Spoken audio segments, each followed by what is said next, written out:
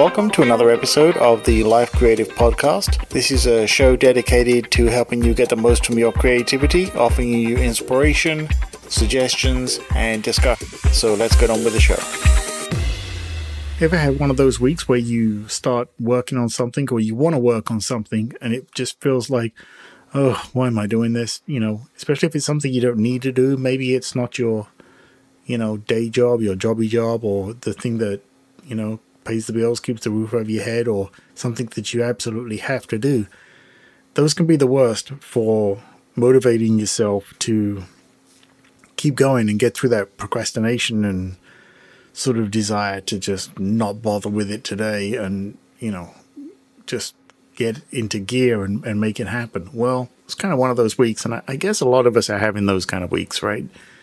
You know, certainly the monotony of, you know, working from home during the day, and then at some undetermined point around the normal end of the workday, I, you know, would stop work or try to stop work and then take a break, you know, which would normally be, you know, a sort of a 30, 40 minute drive home.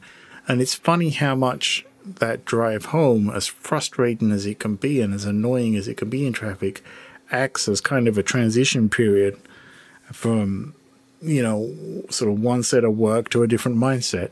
And when you don't have that, you know, if you're something you're not used to having, um, or, or, used to dealing with being at home all the time, eventually there's a break point where you just, it just, it'll get to you, right? You know, and I feel that at the moment, for most of us, having that imposed upon us, and for those of you that are fortunate, like myself, that you can work from home and then get your job done, you know, you've got to you got to find a way to shift that mindset. And so for me, that's always working on my side projects.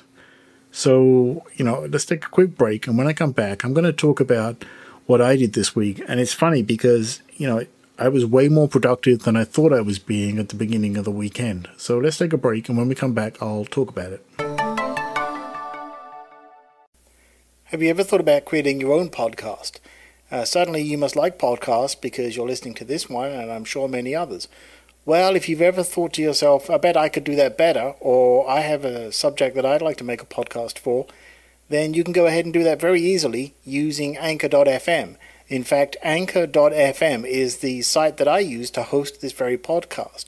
And what I like about it is they provide me all the tools and walk me through all the steps to not only creating my podcast, but very easily taking care of all the necessary details for distributing it as well. So if you want to go ahead and easily create your own podcast, start today on anchor.fm. That's anchor.fm.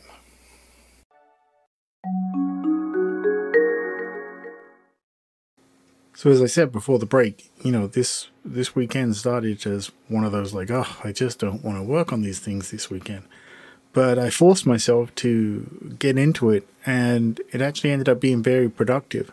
So what I did was I have a series of videos, a course that I'm working on on my Patreon site, patreon.com forward slash pwcom.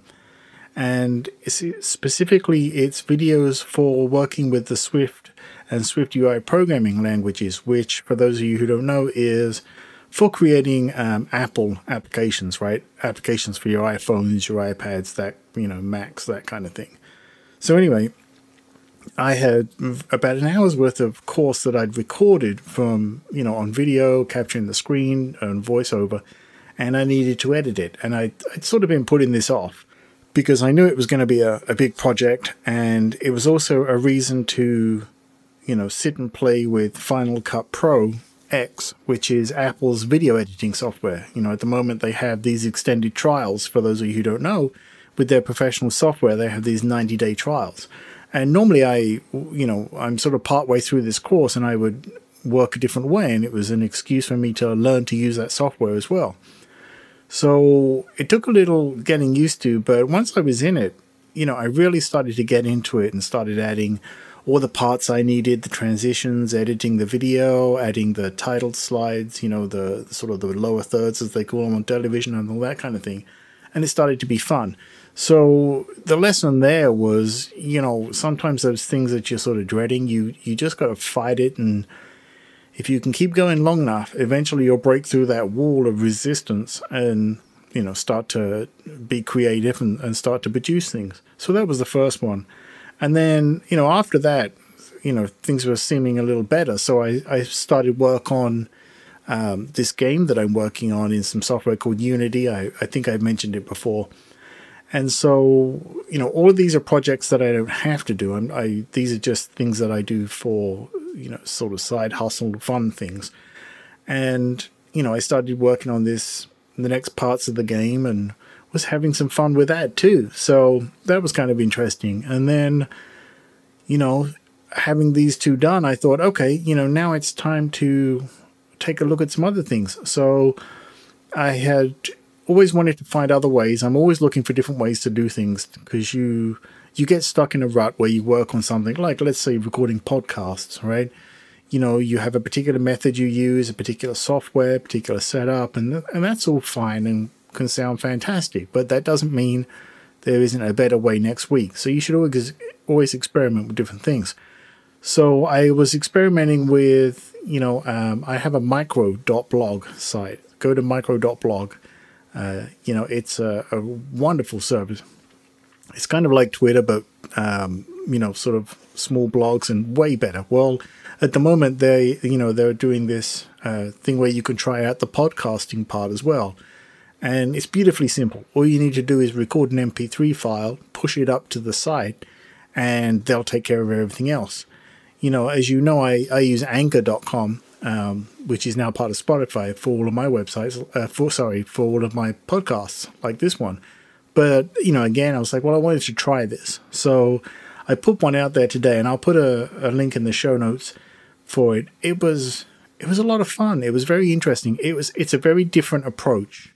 I didn't want to spend so much time producing and editing and refining and, and all of that sort of you know, post processing that you have to do. And I just wanted something where I could throw something up there. And I, I think this might be the thing. So definitely the the lesson this weekend was, you know, hang in there. Even if you just don't want to do it and you know, you're sort of questioning why am I bothering? Well, do your best to hang in because if you can get through it, you never know that that one breakthrough of getting something done, like in my case, can lead to two other things that I just was not planning on getting done this weekend, and I did.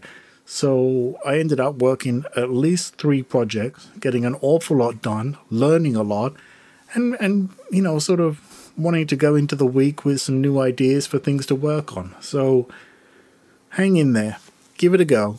You know, just work through it. I think it'll work out for you.